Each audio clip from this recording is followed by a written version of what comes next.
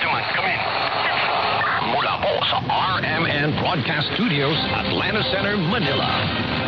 Narito ang RMN Network News. RMN Network News. Nandito tayo ngayon sa Ilagang Wala pa ibang reporter dito, kundi Yung tayo. lugar pero aris nagyapon kita diri. Medyo man, live ba dito? Ugaling makinig sa mga himpilan ng RMN Networks para lagi kang una sa mga balita at impormasyon, lalo na sa mga probinsya at maging sa labas ng bansa. RMN Network News. Alas 7 ng umaga, alas 12 ng tanghali, at alas 5.30 ng hapon. Huwag din kalimutang mag-follow, mag-subscribe at i-like ang mga social media accounts ng RMN News sa Facebook, YouTube, Twitter at TikTok para kompletos rikados ang inyong araw. Yan ang Tatak RMN. Reaching millions nationwide at worldwide. Worldwide. Worldwide. Worldwide. Ito ang DCXL News. 558 kilohertz.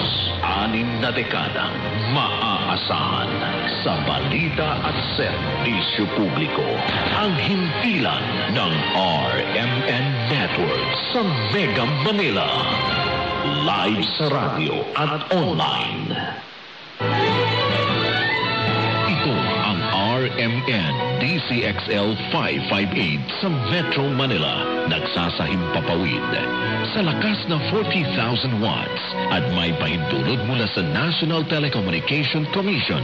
Ang RMN DCXL 558 ay nasa Atlanta Center, Annapolis Street, Green Hills, San Juan, Metro Manila. At ang aming transmitter site ay nasa Barangay Taliptib, Bulacan, Bulacan. Ang aming pangkat teknikal ay pinangungunahan na Engineer Dominador Abogado, ECE License Number 006941, Valentin Villasica, License Number 95-1PNCR-12804, Resurrection Albesa, License Number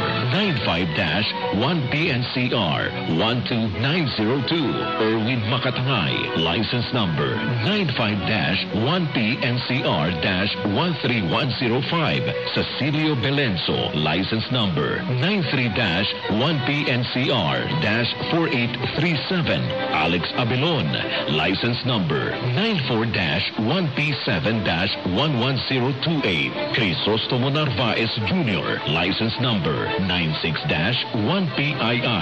96-1PII-17628, ang RMN DCXL 558 Manila, now signing off. Mga kababayan, ang pambansang awit ng Pilipinas.